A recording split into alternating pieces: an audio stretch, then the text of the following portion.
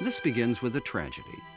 Eiki Muramatsu, at only 24, had a fatal accident just as he was achieving fame as a racing driver.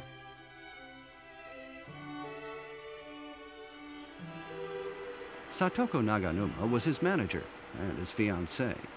Determined to keep Eiki's spirit alive, she formed a new racing team, and two years later is back on the circuits.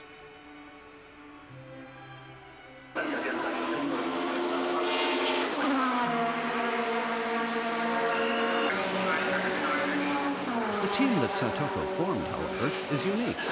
It's called She's F3, and the manager, mechanic, leader, and timekeeper are women.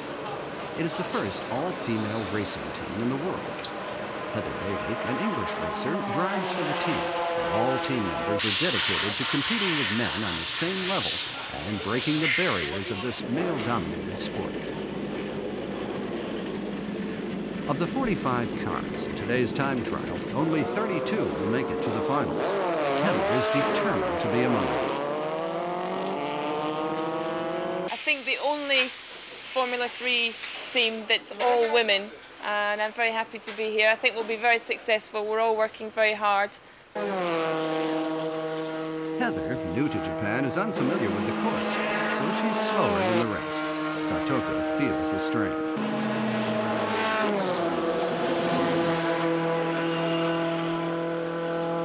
Something's wrong with the engine, and Heather brings the car in for repairs. Eiki's friends help as the pit crew.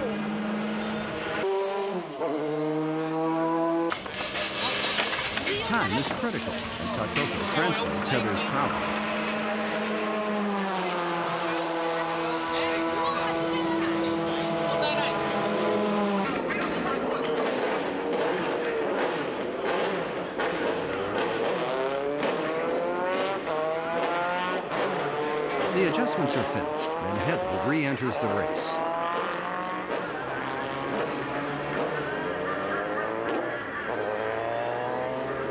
今私たちがやっている、このチームが、チャンピオンを取って、優勝して、シリーズ戦っていきたいなということとあとは彼女が、プロとしてより上のクラスに挑戦できるように、頑張りたいと思っています。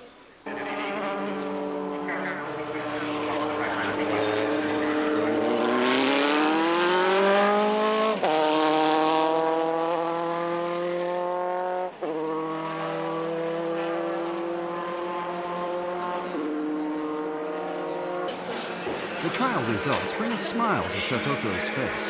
Heather placed 14. This means they'll be in the finals.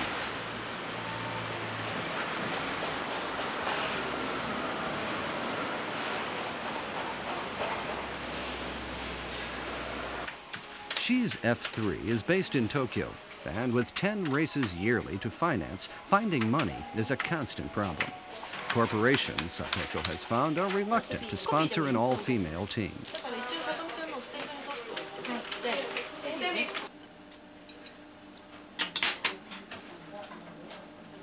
Living in the apartment that Eiki used, memories of their life together surround her. They believed in carrying through to the end, never giving up halfway. Satoko and her team feel the same and are determined to keep their will to win alive.